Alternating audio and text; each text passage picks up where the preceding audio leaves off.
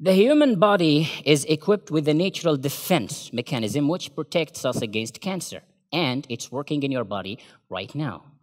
It is called DNA repair mechanism. When DNA makes copies of itself, there are chances of errors called mutations.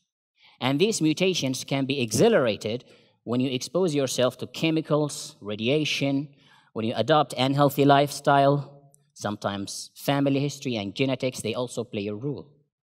But there are proteins that are tasked with repairing these mutations as soon as they happen.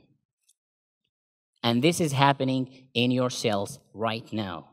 So, what if there is a way by which we could enhance the cell's ability to repair DNA at a maximum efficiency? In fact, we could do that. We know which proteins are involved in DNA repair mechanism, and we know how to control them with the help of a gene editing technique called CRISPR, which you have heard about in the news. CRISPR is the most precise gene editing technique ever invented in human history, and it is proving to be very efficient. So we could use this technique to enhance the cell's ability to repair its DNA at all time, at all cost. But there is one problem. If we want to protect you against all types of cancers, then we have to make sure that your entire body is genetically engineered, that every cell is programmed to resist cancer. But we can't do it in adult humans because your body consists of 37 trillion cells, and that is impossible to engineer. In fact, there isn't any technology or gene delivery technique that can deliver genes to all this massive number of cells. But what if we could do it with human embryos instead? Why?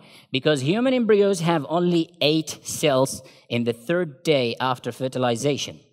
In fact, we can engineer eight cells in human embryos. In fact, we are already doing it right now. Take a look at these remarkable results. Scientists genetically engineer human embryos. They managed to correct a mutation responsible for a serious heart condition in human embryos. They also managed to treat a condition responsible for a blood disorder. What's more amazing also, they managed to introduce HIV resistance to human embryos. So if we can do it with these diseases by engineering human embryos, then we can also do it with cancer. And it is called embryonic cancer therapy. What's beautiful about embryonic cancer therapy is that we only have to engineer eight cells in human embryos. These embryos will grow to become adult humans with 37 trillion genetically engineered cells. And we only have to do it once with one generation because future generations will already by default get this genetic change as we pass on. So they will pass it on to the next generation.